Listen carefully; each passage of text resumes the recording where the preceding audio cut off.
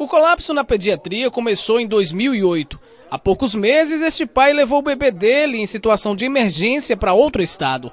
A cidade de Aracaju não tinha uma UTI pediátrica, a não ser a pública, que ela precisava de mais recurso, porque na época não tinha a, a, a UTI lá, estava em decadência, com, com, goteira, com tudo. Eu fiz até uma denúncia na televisão e foi removida essas crianças para o USE, né? O hospital. Só que é o seguinte, hoje a coisa está pior ainda. Hoje não temos nem a emergência. A partir de amanhã, a urgência do Hospital São Lucas será fechada.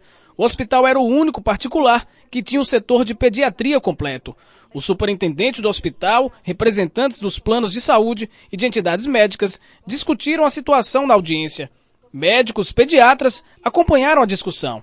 O Ministério Público vem lutando muito, né, mas infelizmente não conseguimos manter as nossas liminares. Já entramos com recurso né, nos autos da ação civil pública que foi movida.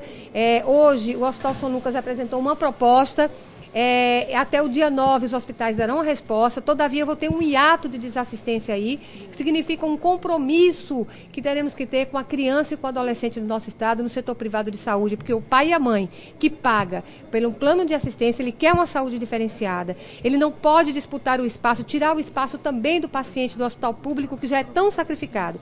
A Superintendência do São Lucas vai apresentar aos planos de saúde um projeto para a pediatria.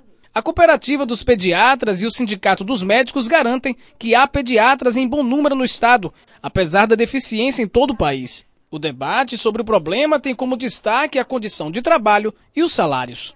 Havia uma carência, como há no todo o estado, uma carência de uma estrutura de atendimento pediátrico formalizada e consolidada. Então, o que está discutindo aqui é um projeto de revisão dessa situação como um todo que envolve também remuneração do ato médico, da consulta médica, envolve a estruturação de UTIs pediátricas, a ausência de profissionais no mercado para atender a essa demanda de, de, internações em UTI pediátrica. Na verdade, o que a gente está buscando é criar alguma coisa sustentável. Então, é, é um desafio, mas é, é, na crise que emergem né, as soluções. Enquanto aguardamos essas negociações, nós da Unidas já estamos fazendo eh, buscando alternativas para suprir a necessidade da nossa população. A negociação entre o Hospital São Lucas e os planos de saúde será discutida numa outra audiência marcada para o dia 9 de dezembro.